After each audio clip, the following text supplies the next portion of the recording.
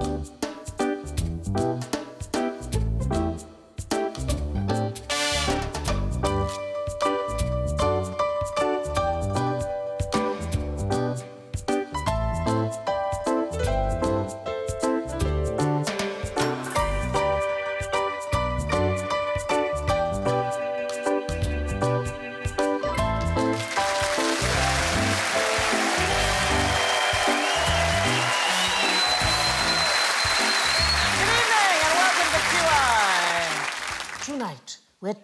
through our quiet episode.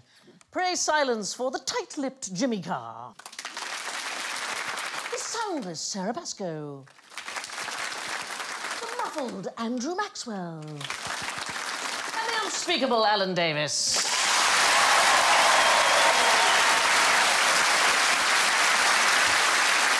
And their buzzers are all appropriately quiet. Jimmy goes. Quiet!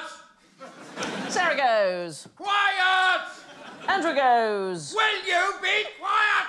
And Alan goes. Oh, do shut up. That's very polite, wasn't it, really? Oh, do shut up.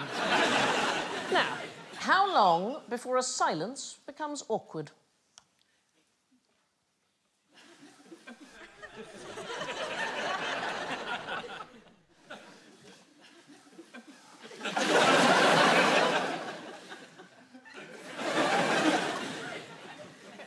Okay, it's about now, I think. I think it's about so, they, they, that could have been the whole It was horrible, wasn't it?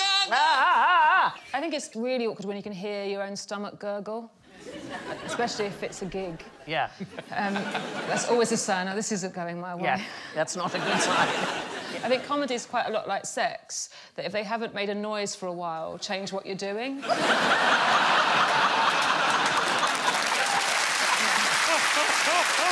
You could say that about parenting as well, actually. Yeah. Oh.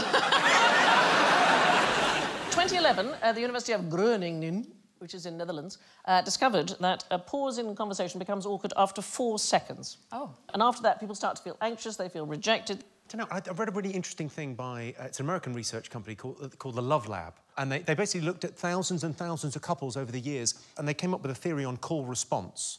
If you're sort of having a silence with someone with your partner, you're looking at the paper and you go, oh, and they don't go what, then it takes it takes like seven good things to make up for that one bad thing because people feel so rejected It's that. by that. It's exactly that. It's about feeling rejected because the reason that we like good conversation is it helps us feel good about ourselves. We get Um, dopamine, don't we? Like teenage girls who stay on the phone for hours and hours have really, really high levels of dopamine, like they've like completed a PhD.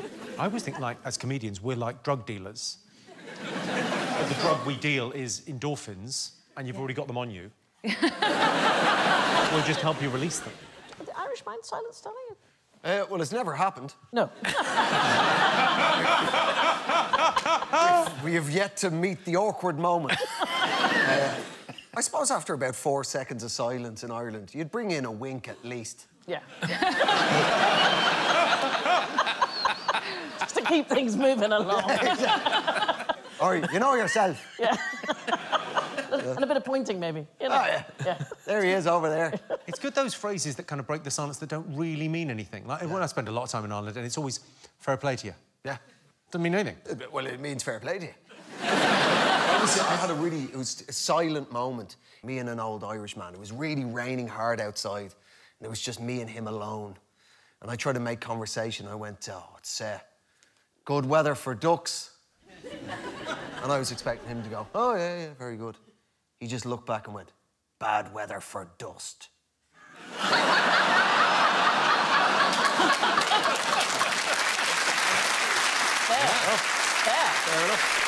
Some cultures have a different attitudes. The Japanese have a concept, something called haragei, and basically it means belly talk. And the idea is that you use a prolonged silence in business negotiations. Um, and they're content uh, with an average silence of about 8.2 seconds, so twice as long as we are. So I think it's very much a cultural attitude to it. Maybe that's why, especially in dating, you do feel the silence a lot because usually the instinct is he's awful. a couple of bottles of wine and two years later, there you are. Let's fire flat. Yeah. Well, isn't that the theory? When you look at someone, you either You either want to kill them or you want to. Yeah, if you're looking someone directly in the eye, it's either kind of sexual or aggressive after about three seconds. It's one or the other. You can't. Not it's not both? It's not neutral, Alan. Oh. That's sexual. Too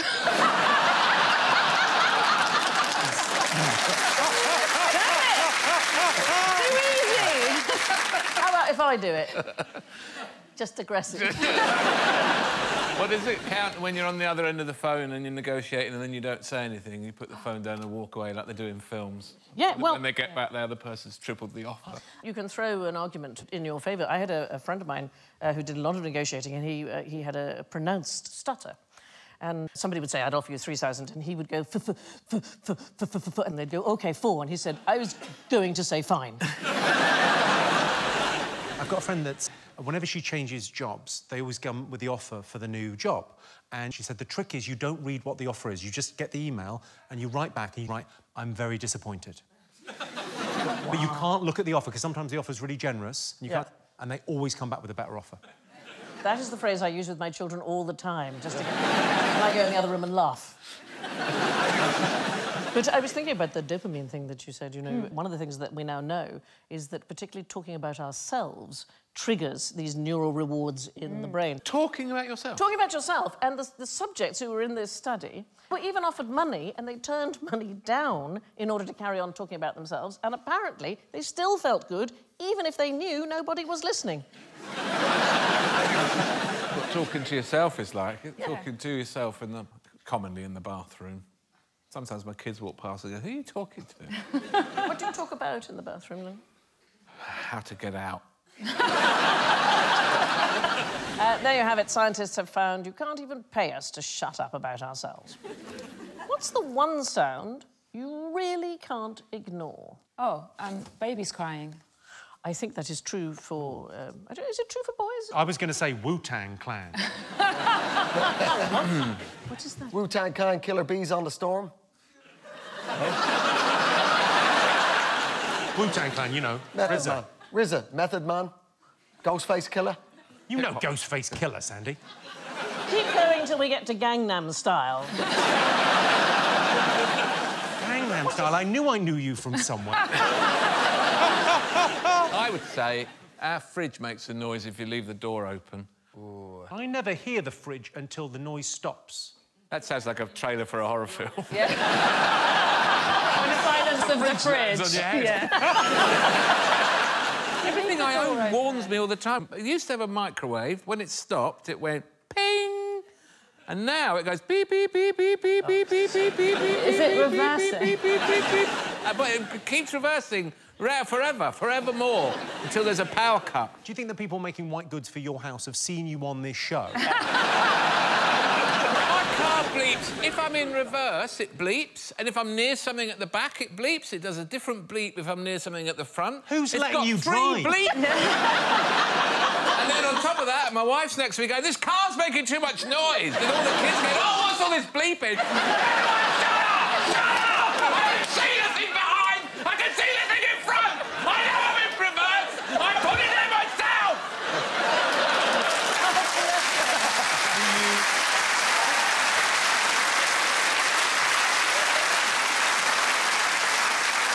Sadly, on his 234th show, Alan Davies had a complete breakdown. the dopamine, I just had the dopamine. Everyone heard you. Yeah.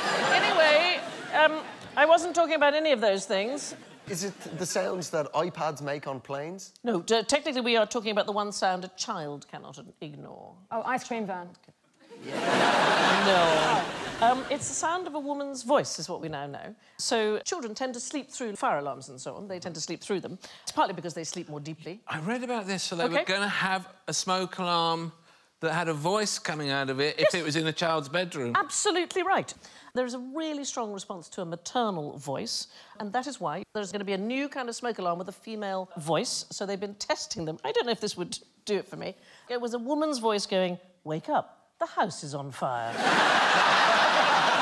now, you want a bit more urgency. I think that might be better than the alternate. My mother was an incredibly sweary woman. Oh, and I think if she'd recorded a fire alarm, it would have been just filth. It would have been like a pirate was doing it. Uh, Dundee University, working with uh, Derbyshire Fire and Rescue, they tested smoke alarms uh, in 2017 on sleeping children, and it is astonishing the difference. The woman's voice will wake the child up 86 to 91% of the time, whereas a tone alarm just over 50%. Apparently, incorporating your child's name into the recording makes no difference whatsoever. Call a little girl Frank, and they wouldn't make any difference. I think if you use your child's name, that's when they ignore you. Yes, I. They hear their name and think, uh-oh. Yeah. Why that thing when they use your full name? If I was oh. ever referred to as James, it would, oh, I'm in a lot of trouble here. Yes. What are your, what are your middle names? Anthony Patrick. Did they sometimes use the lot? Then you're really in this shit. I think that's called a judge. You're in court.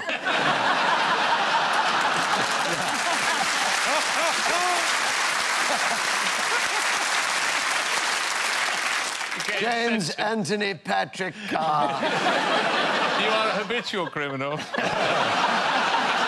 have been caught once again. No signs of remorse. So children can ignore these alarms, but the ability to ignore noises is not unique to humans. Um, so they have discovered that mice also have a noise cancelling function in their brain. What noise might mice want to cancel out? Other mice? Well, that's sort of, yes, heading in the right direction. Are the mice having sex? Because they apparently do it all the time. Really, is it very loud? I... I have no idea of the volume. I'm not there, creepy, outside the nest. No, it's the sound of their own footsteps. Because imagine it'd be very. Anno- I think you're thinking of the little mouse with clogs on. I think that's a nice sound. yeah, but if you were a mouse and you're very close to that sound, then Yeah, you can't hear by predators. So they actually oh. cancel out the sound of their own. Have you seen the new tinnitus app? Sorry. So if you have like a ringing in your ears constantly, so what it does is it recon. It basically, you listen to it and you get exactly the same ringing in your ears on the phone. Right. And you listen to this thing, and then you practice turning on and off the phone, and eventually your brain learns to turn off the tinnitus in your own head. If that is true, that is the most brilliant thing. It's genius, yeah. Actually, there is a phenomenon where people can hear things which are not there, and that is called musical ear syndrome, and that's when you hear music that isn't there. And it's thought it's the brain trying to compensate for sensory deprivation. So Robert Schumann, the great uh, German composer, he reportedly heard entire symphonies in his head, uh, from which he did originally draw inspiration, but eventually he was released from his job as conductor in 1851 uh, because he couldn't distinguish the music in his head and the music that he was conducting, which, if you're a conductor, not going to go uh, as well. Isn't there a story about Paul McCartney and Yesterday? That he was humming Yesterday. It came to him in a dream, and he was humming it for like three days, going, Who wrote this? And then it was suddenly. And it was just like, no, it just came to him fully formed in a dream. Oh my God. I was in a shop and I realised, and wasn't sure how long I've been doing it, that I was humming the theme tune to Jonathan Creek. Wait, waiting to be recognised. What a way to draw attention to I know. yourself. How loud was the hum? Oh, loud really loud. No. Well, Schumann was quite mad by the end. He just heard one note, it was an A, he just heard a single sort of tortured. no, he left the fridge open. Do you know, this is one of those things where people become kind of human. Unfortunately, he did end up in a, what used to be called a lunatic asylum. Yeah. And his wife, Clara, they had seven children. She got hold of their friend Brahms, and Brahms used to go round and do childcare instead of composing. Oh, did, that's nice. eh, did write a lot of lullabies, to be fair.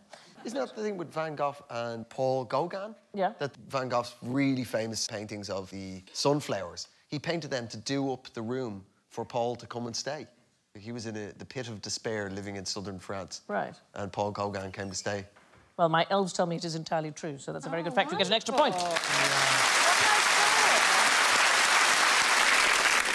sometimes our brains block out sound that is there and hear sound that isn't. Sorry, what was that? Oh. Thank you very much, Alan. I picked it up myself. What's the most. What's the most dangerous thing to do in bed? Tell the truth.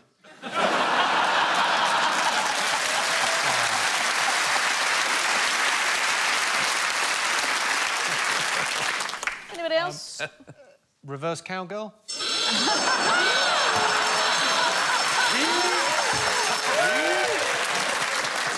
they had that locked and loaded? there was some suggestion you might say that, darling. Is it a particular favourite? Yeah, how did they know? So we're looking looking at the past. We're looking at particularly the Victorian era, so something that is dangerous to do in bed in the Victorian time. They would have had candles and things to light themselves to bed. Yep, exactly Gas right. lamps and things. Uh, candles in particular. oh, candles. Uh, yeah. why would you take a candle to bed? Is it To reading in read? bed? To read, yeah, reading uh, The Silent Killer. It's not thought to be a good thing at all because it was burning as you drifted off. Yeah. There's a most fantastic summary of uh, fires in London from 1833 to 1866. So in those days, all fires were dealt with by the fire insurance company and they kept meticulous records. So here's a quick snapshot of 19th century London life. Uh, one death from a fire caused by a jackdaw. No details provided, that's it. Don't know what that was. Another caused by a monkey. Two attributed to smoking in bed, three to sewing in bed. Anybody? Yes. Uh, 12 to lightning, but the figure that tops all of these is 34 lethal fires caused by reading in bed. In fact, exactly equal by the number of fires started by cats. Has anyone ever da- actually damaged their eyes reading by torchlight? I don't know, because it used to be a thing, didn't I it, when you were told a child? that As a every child, night of my childhood. You'll Same. damage your eyes. Yeah, I think it's a myth, They're darling. Under the covers. Yeah, I, I used to read with the torch as well. Neither of us have glasses. Who's speaking now? it's your fire alarm. When I was at university, there were two students who wanted to go off grid. You know the Oh, yeah. type? Hmm. They wouldn't even wear shoes for some inexplicable reason, and they wouldn't have electricity or gas or anything, and they used newspaper for loo paper and candles, and they knocked a candle over in the toilet and burnt the house down. It was sad. It was a beautiful old house on the beach in Whitstable, but it was funny. Maybe it wasn't their fault, maybe it was spontaneous combustion. or a jackdaw. Yeah. 1,255 fires attributed to spontaneous combustion. Used to be a thing that the Victorians were terrified. Well, I was obsessed with that growing up. And the idea that the fat was like wax and it was like the wick was inside and that's why it was so quick. But it's kind of stopped happening since the internet because there would be a video of it now. Like someone with their phone would have gone, oh, Nana's burning. Got it. But uh, various examples over the years. Lord Walsingham uh, found burnt to a crisp in his bedroom in 1831, but it is probably because he was reading in bed. That's the bottom of him burnt. That's it. That's it. but reading, in particular, for women was regarded as dangerous. So women Yes. reading in solitude, it gave them rebellious, fantastical ideas. It was novels specifically. Yeah. They were very, very worried because novels were, you know, in a third person that Yeah. might Yeah. make people too empathetic Yeah. and thus weaken, weaken the nation.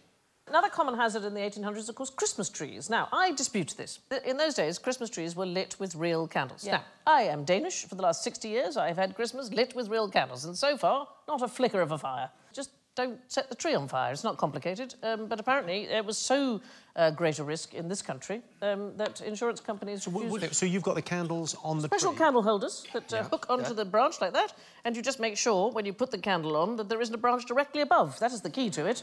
Um, uh, honestly, I've never known this uh, to happen, but insurance companies refuse to insure people uh, against this particular thing. And in fact, there was a sort of a spate of patents for self-extinguishing Christmas trees for a while. There was an American called Leonard Deo. He filed a patent in 1947, and it had a hose that ran up the trunk and had a sprinkler system on the top of the tree that you could use to, yeah, to prevent this. I think as long as you remember to take the jackdaw out at night. Perhaps not. The lack of a jackdaw is why we've been so successful so far. Has anyone ever done a poem about jackdaws and backdoors? Because if they haven't, I'm going to do one before the end. it's really bothering me that it sounds so like a backdoor. You're right, the jackdaw and the back door does sound like some kind of They go together. Yes, they do. Right, you do that. We'll do the next question on our own. Jackdaw, backdoor, lackmore, smack whore. That's where I've got to. Seashore, seashore. crack whore. I'm thinking crack whore is what I'm thinking. yeah, what about bee paw? Beating a bee paw? No, it's got to be. Why am I joining in?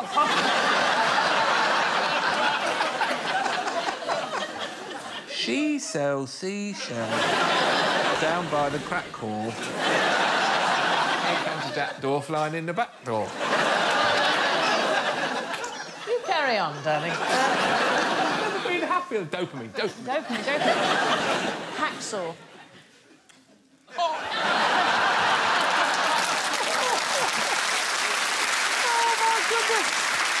Hang on, I'm looking at Jimmy Tax Law.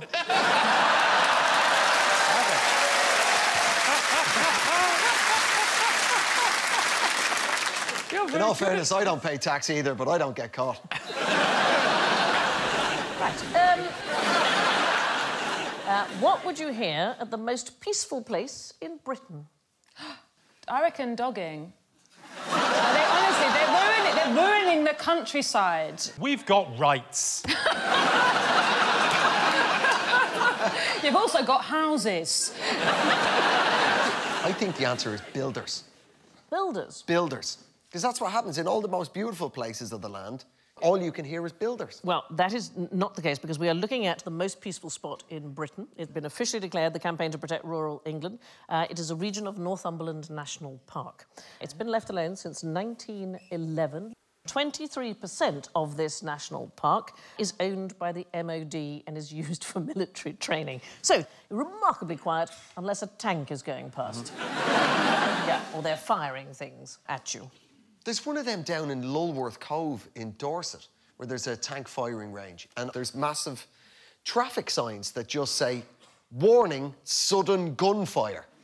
I I mean, I don't know about how the rest of you live, but all gunfire is sudden for me. Yes. I always wondered with that sign, it's a triangle with falling rocks, and it just says falling rocks. Yeah. That might as well just say, be lucky. Yeah. Well, while you're driving along doing that, that's when you hit things, isn't it? You'll get little beeps just as they come just above your car. There won't be a beep. That's There's the no annoying beep. thing. There'll be no beep You for ain't got a that. beep there up won't there. be a roof beep.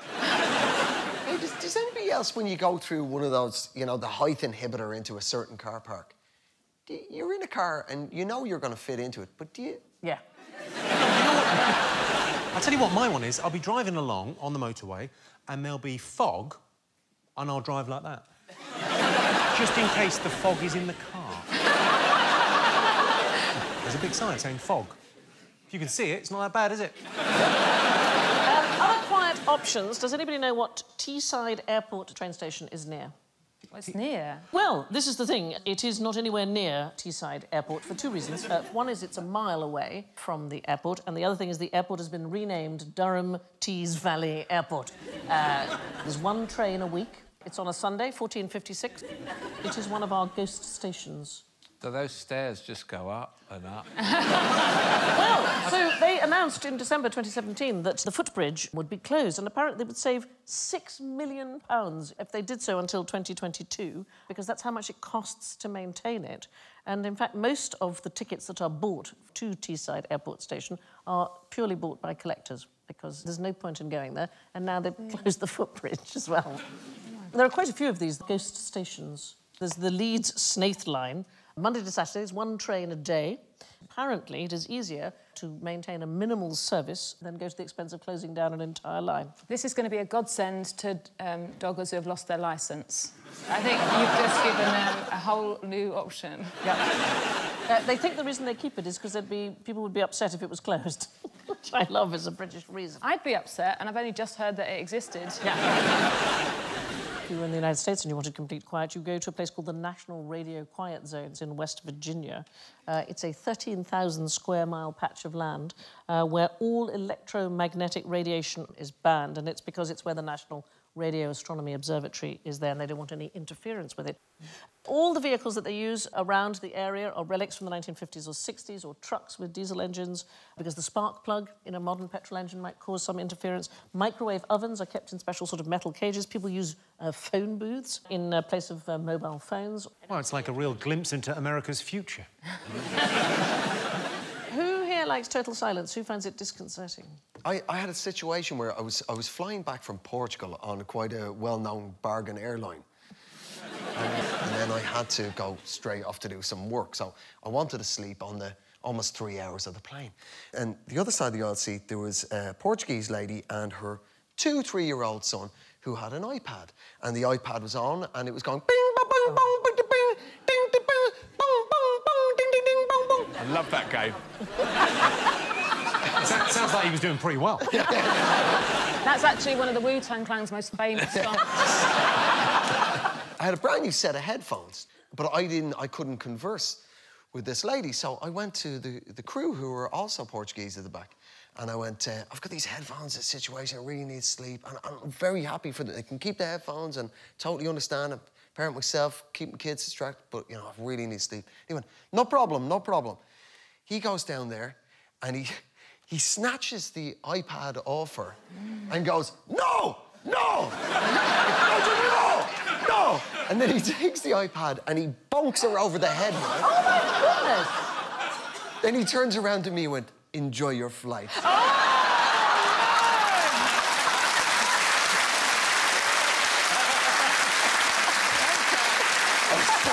And then a lovely, a lovely three hours sleep. Well, yeah, I was just trying to sleep while there was a lady and a child crying. Wow, that's one way of dealing with it, isn't it? Now, how do you quell a carnivorous plant? By quell, so do you mean sate it or stop it wanting? Stop it, well, stop it being able to actually function. So let's have a quick Oh, look. Let's have a look at a Venus flytrap, okay? So you hmm. know the theory behind the Venus flytrap. Fly is that- away! Fly! From your life! Fly! Have a look at a video of it actually functioning because it is Yeah. the most extraordinary thing. So we'll watch it just closing up now. So there is the fly. Oh. I mean, it's creepy, Yeah. right? But if you wanted to make it stop working, you would anaesthetize it exactly as you do human beings. So you can gas them with ether, you can swab the roots with lidocaine, and what will happen is it'll just stop working. The fly will land there, but the thing won't close down. And it is oh. found that the electrical impulses in the plant have temporarily dropped to zero. It is exactly the same effect as what happens to us. So a Uh, plant would be exactly the same reaction to an anaesthetic as a human. yes, exactly. So I find that stuff extraordinary. You know, this fentanyl stuff that's a thousand times more powerful than heroin as an opiate. And drug dealers in the States now are selling fentanyl, but they're having to cut it with heroin to take the edge off. it's like trying to defuse a bomb by flying a plane into it. It's mad. Yeah, carfentanil's even stronger. This is my own personal brand of fentanyl. I It's really good. You don't pay VAT on it, so.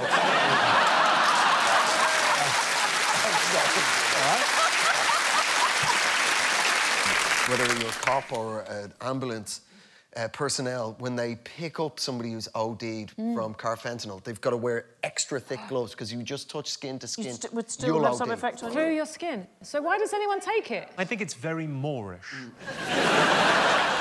We don't entirely know how anaesthetics actually work. We do know that something like lidocaine works by stopping local neuron signaling to the human brain, but it also seems to work on plants. And the truth is, we don't really know how anaesthetics work. Can I just show you something which I hadn't seen before, but maybe you have? I'd never seen a Venus flytrap in flower, and actually they're rather beautiful because you only ever see it when it's looking sort of slightly vicious. But isn't it rather lovely? That's terrifying. It, I think it's rather beautiful. They gassed all sorts of other plants as well. The effect is the same. They all just went straight to sleep. Has anyone asked why they're up to this? We're trying to work out how anaesthetics work. it wasn't like a group of flies. No, it together. wasn't. Something's got to be done about these guys. yeah. One of the interesting things that they found out really recently about um, pain in the brain is that if you think about colours, it, it, it distracts your brain from the part of your brain that's getting the messages about being in pain. So it's something quite good if you don't have any pain relief, if you think about colours one at a time. Yeah. Um, people with hypermobility, so uh, double jointed yes. people, appear to be resistant to uh, sort of topical creams and to being injected to local anaesthetics. Uh, that is. I know, that's quite strange, isn't it? Three times more likely a hypermobile person to report that local anaesthetic is not effective. Not I working. know you're still talking, but I can't stop looking at that.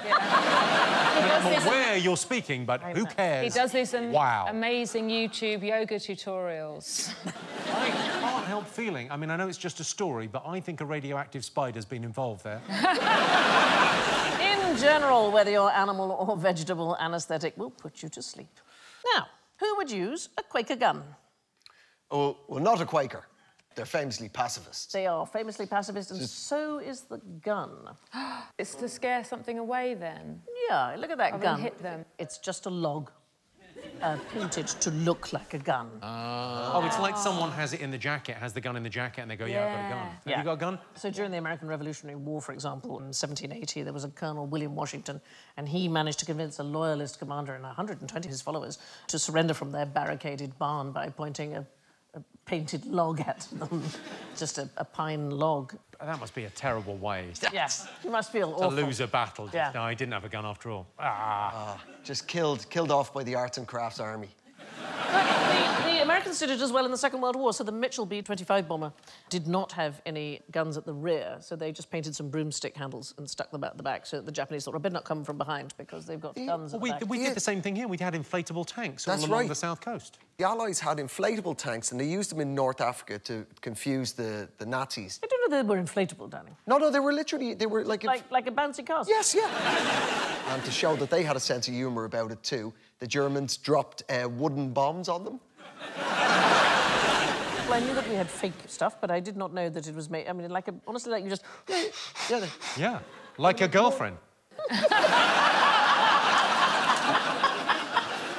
I, I think, darling, that they were made of canvas, if I'm honest with you. still pretty funny for a Nazi to send like a wooden bomb back. Just, just there back at the base, just carving away. it's, it's going to be funny. Don't do that accent with that haircut.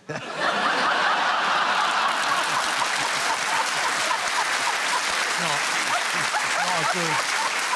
Either one, either one is fine, but when you combine them, I feel it's dangerous. Anybody ever been to a Quaker meeting? Yes. Yeah, Did it's you go to a silent one? yeah. In Waterford in Ireland, it's the Quaker capital of Ireland. And everybody's just silent until somebody gets taken by the Holy Spirit, and then they stand up and they offer up a prayer. And that's it for an hour. You know, so there's no hymns, there's, there's nothing else. The thing I've discovered, which I didn't know, because I thought all Quaker meetings were silent, it's only 11% now of Quaker worship. Uh, there's an awful lot of people going to what's called programmed. I love the whole silent, unprogrammed worship. I have to say, I, not as much as a group of young Quakers in Nottingham.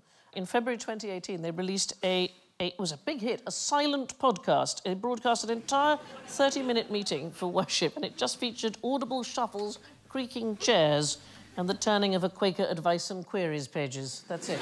I could have just taped one of my audiences. And now it's time to whisper our way through the calming quietude of general ignorance. How good are you at multitasking? Excellent. Excellent. Okay. I, uh, I Here we bas- go. Oh, I see. Yeah. I didn't know it was going to be tested on. Just volunteered yourself, okay?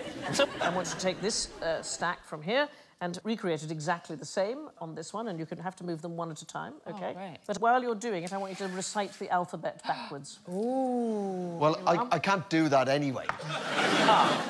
I mean, I don't think I can do it forwards. Like A, B. No, no, so you don't understand how the game functions. Um, We're going to find out that Andrew's a toddler. Just took them off and put them on the counter. Said, "How you been?" A, B, C. Backwards, though, is? I can't do it backwards. You have to go backwards, Z, Andrew, and put them on the middle No, one. Andrew, Andrew, Andrew. All right, okay. This is me. Right on. Start again. This is more annoying than my microwave. Okay, here we go again. Z, Y, Keep them on So the post. backwards. X. Um, one, move them one at a time. No, middle one. What's wrong with No, this? don't help him. I love this because, as I said, Z, Y, X, W, V, U. Get the don't pretend you could Why, do this. so why did you say? Why did you say that you are good at multitasking? I'm a man and I like to brag. What they found is doing tests at uh, Stanford University, people who consider themselves to be good at multitasking actually do worse at performing uh, multiple tasks than people who prefer to focus on things one at a time. it's one of those strange things. But anybody else think they would be better at it? I mean, than that, yeah. Go. the fact is that what we now know is that the brain is pretty much incapable of focusing on more than one thing at a time. Yeah. If it requires a level of thought. I mean, walking you can do and do Yeah. something else at the same time.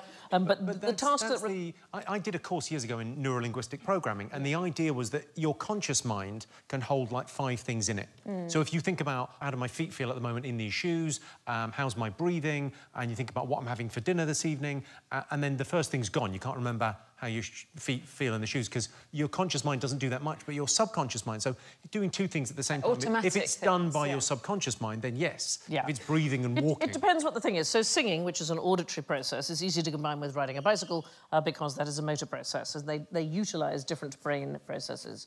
It's when you've got a thing that really requires single focus. It's called a, a bottleneck. Uh, Like voting. Yes, exactly like that. Exactly like that. When you're multitasking, what your brain's actually doing is switching backwards and forth very Yeah. fast between the tasks. So really, it would have been better off to do it one at a time. So why is that thing about men not being able to multitask and women being able to? No, but it's kind of reverse sexism that essentially it was invented by men to go, no, no, no, you should do all the housework because you're able to kind of like look after the baby and do the dinner Yeah. and keep the kitchen clean. It's like ads, you know. The ad is always a massive suburban house, and uh, the husband uh, can't, can't put in a light bulb. Yeah. The amount of ads that over the last 34 years is always, oh, George. oh, he's useless, isn't he? Yeah. Anyway, buy this.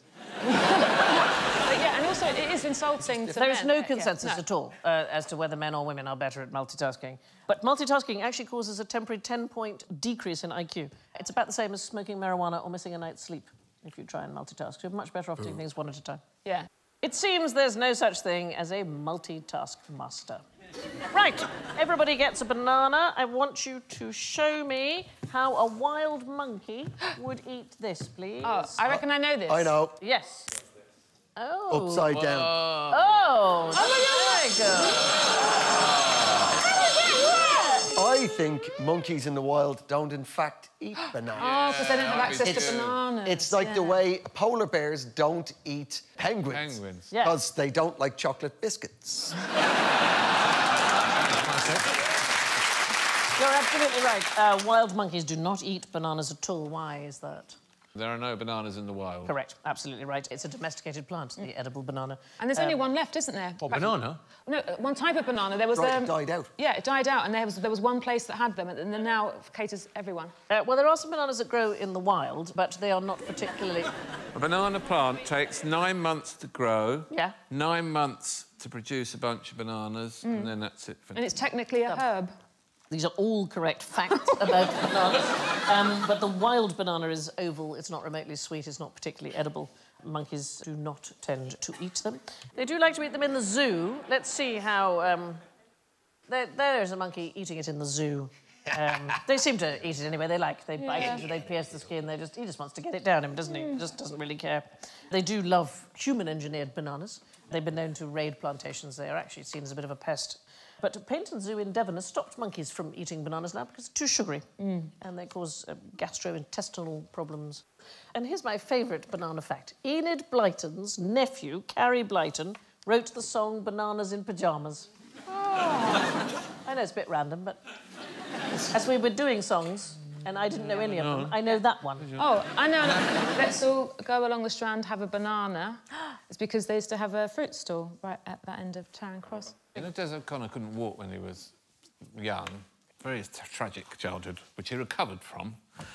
But his autobiography is called Bananas Can't Fly because his father would hold a banana when encouraging him to recover the use of his legs and say, You've got to come and get it, it can't fly. And it was a rare thing to have a banana. And then when he recovered and he was able to walk, he went down the shops and got run over. And that's a true story. That's a wonderful story. That- where was the fruit stall in? Did you say the Strand? Uh, so there's a really old kind of London Cockney song. Yeah. Yeah, because you used to be able to. I've got a friend that wrote a book about pineapples, and you used Yeah. to be able to Oh, yeah. rent a pineapple on Yeah. the Strand. And no one ate pineapples for the first sort of. No, It was a 70 sign of wealth. Yeah, down You would just they have parade them on round. Lambeth Bridge Yeah. in the architecture, and it was a fashion item. Women dressed up like pineapples. I heard this lovely story about sailors coming home from, you know, being away for months and months at a time, and the wives would put a pineapple Oh, in the window, and it would signify, "My husband is home. No gentleman callers, please." Yeah, absolutely. So and someone told me that stately home thing, the big pineapples on the front of stately homes, is kind of a gag alluding to that. oh, I see. Yeah, I used to get gate posts with pineapples on to Yeah. show that the lady was permanently virtuous. Mm-hmm. Kind of cute. I know. I'm not getting one. Uh, There was, a, uh, there was a woman that died in pineapple as well in London. she died in pineapple? She bathed in pineapple, and the, the acid killed her. Right, moving on. What did the first sneeze sound like? a tissue. No, no, No, not chew. No. Chew is different. Yeah. A tissue is different Yeah. from a chew. Not having that. You've pressed the wrong no. button. I think every, no, every- everything about sneezing. It's tissue. good. It's not the same as a chew. That's a different sneeze. Okay. Everything about sneezing is adorable. That the way that people, their eyes kind of glaze over, like they can't concentrate for a second. The worst thing is when it goes away. When you think you're going to Yeah, sleep think- and it goes away, you've been robbed of it. He'll be back, and it'll be even stronger. I don't think you make any noise when you sneeze. I think it's a socially learned thing. You're absolutely right, it's an affectation. Is it? So you could go, Yahoo! Yeah. Well, deaf people who have never heard the affectation do not make the sounds that the rest of us make when we sneeze. So a tissue or a chew, or in uh, German, hatchi. Hakshon in Japanese, the Filipino is hatsing, the Polish say apsik. We all have a noise that we make, but we've learnt to make it. Apparently, if you have uh, never heard a sneeze before, what it actually should sound like is a heavy breath as the deep pre-sneeze breath is taken, then a sharper, faster sound of air being released. But we make that noise because we think we're supposed to. It's what a sneeze sounds like. That's a great It's a really isn't it? great fact. Yeah. I'm so sorry. That's a great sneeze. Do that again. Alan's come down with something. very poorly. Several years ago, darling. Yeah. It's still They need some WD-40. There's also a different cultural response to how we sneeze. So we tend to say, bless you, that tends to be the thing. The Burmese say, understood. I don't know why. Um, Understood. the Chinese say, do hon din shawe, and it means drink more water. Uh, the Portuguese cry, little saint. The Serbians say, go away, kitten. Uh, the record for the longest fit of sneezing belongs to a British woman called Donna Griffiths. She began sneezing on the 13th of January in 1981, and she had her first sneeze-free day 977 days later. She sneezed an estimated one million times. Worked in the pepper factory, I believe. Just be clear, that's not her. Okay, that's just a very nice random person, Stock image stock sneezer. image of person sneezing. Yeah. D- And at school, did you have that thing where everyone was like, if you sneeze eight times, it's the same as a whole orgasm? Did you? No. No. that was the thing at school, just like, oh, three, five more, Yeah. five more. What do you say when it happens? Because the Koreans say. Go away, kitten. I think when you orgasm, I think it's nice to say bang goes the dynamite. Whoopsie daisies. it's really time to finish. Uh, that also works. It's the most fantastic game um, which is played on I'm Sorry I Haven't a Clue, which is coming up with sentences that work both in the kitchen and in the bedroom. Uh, so things like, oh, it's a bit dry, do you have any cream? Um,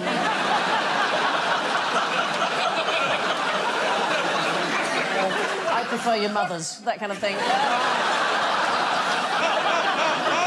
Do you fancy a roast this Sunday? That's it.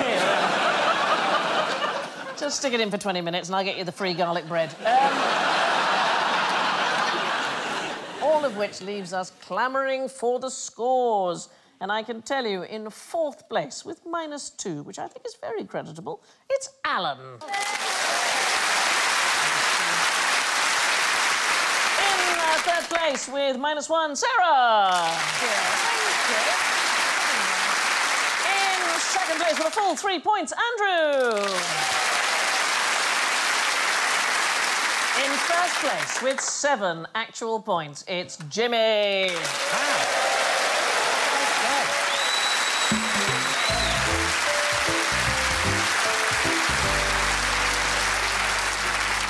Right, it's thanks to Andrew, Jimmy, Sara, and Alan. I leave you with this quick quotation from Mark Twain.